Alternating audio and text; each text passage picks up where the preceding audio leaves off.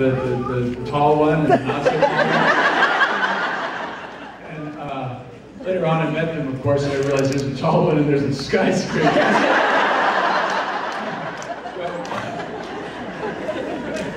But I really liked the vibe of the show. I also liked that uh, a guy I knew named Mark Sheppard was on the show.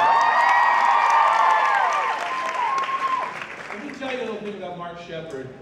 He's a cool guy. I hate to say this because he thinks I have a crush on him. he used to date, he used to date a friend of mine, Penny, and I also did a movie with his dad years and years ago called Gettysburg.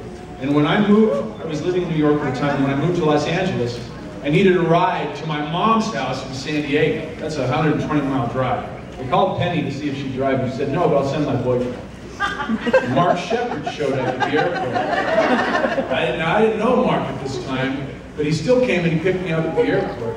And he drove me 120 miles down to my mom's house in San Diego, dropped me out, waved goodbye. And I tell you what, that says a lot about the guy, doesn't it? I mean, would you drive 120 miles?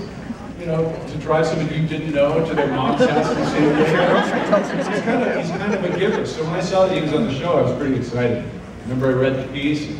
I get to the audition over at, was Warner Brothers. And I'm in the waiting room with an actor by the name of Ray Wise.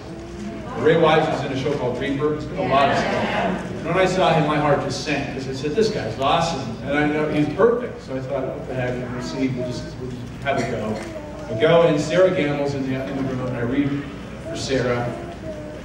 And I just had a blast. It was the muffin scene with Mark Sheppard's character, right? It was just, this is the, the, organic baby, baby uvulus. I would swim through hot garbage, that sort of thing. When I was to swim through hot, hot garbage. And I remember I got up and I looked at Sera and she goes, you are creepy. I said, thank you very much. I went home and they called me uh, later that day and they said, uh, you know, I hope your passport's uh, ready because we need you up in Vancouver really quick, which is great. Anybody been to Vancouver?